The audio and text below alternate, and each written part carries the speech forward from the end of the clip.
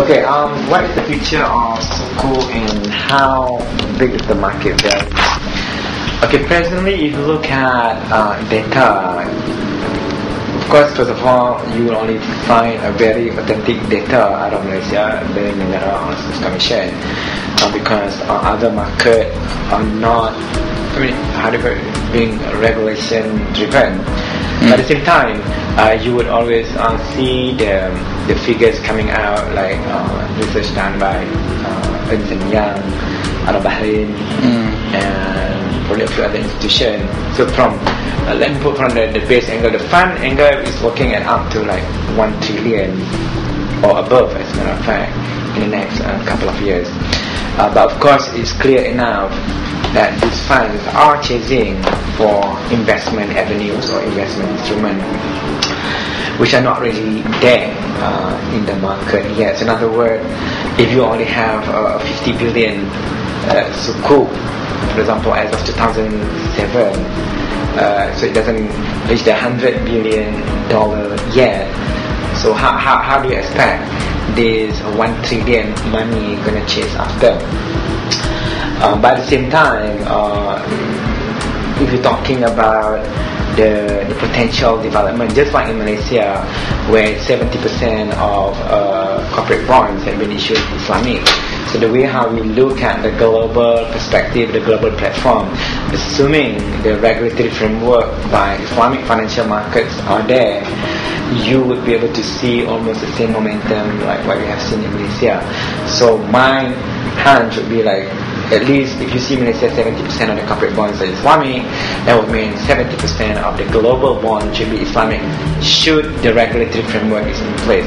What I'm trying to emphasize here is um, when when you do not have a regulatory framework that really regulate the Islamic financial market, that really regulate the Islamic funds mobilization, what's hap- what's been happening in those non-regulated Islamic financial market, the Islamic funds, you know, being leaked into the conventional market.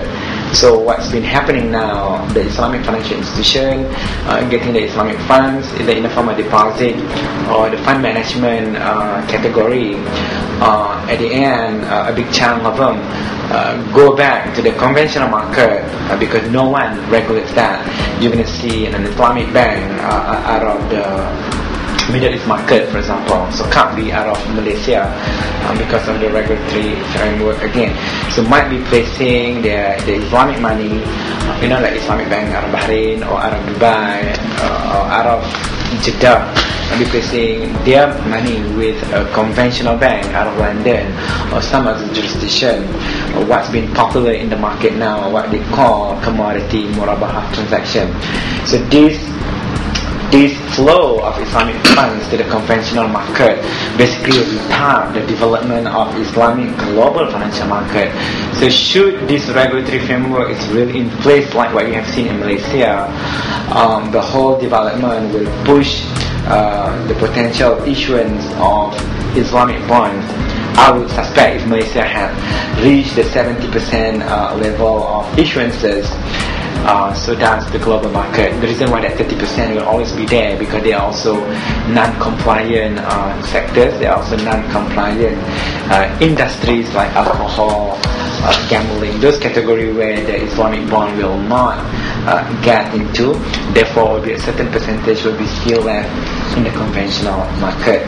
But without having those, particularly the GCC jurisdiction, you know, without having them regulate uh, their own Islamic financial market as long as they are allowing the Islamic funds flowing into the conventional market you will never see a potential premium of the Islamic bond in the Malaysian context to be seen uh, at a global level so that is the present context of how it's going to move out and we're talking about the value is going to be a big chunk and the tipping point is really the regulatory framework and how the Sharia scholars out of the GCC look at these Islamic funds leakages into the conventional system.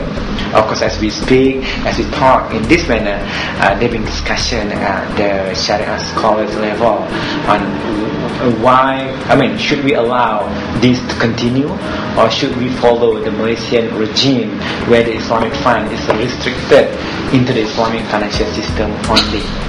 But that is the, the, the, the, real issue in the Islamic financial market as far as going forward and develop to a better state.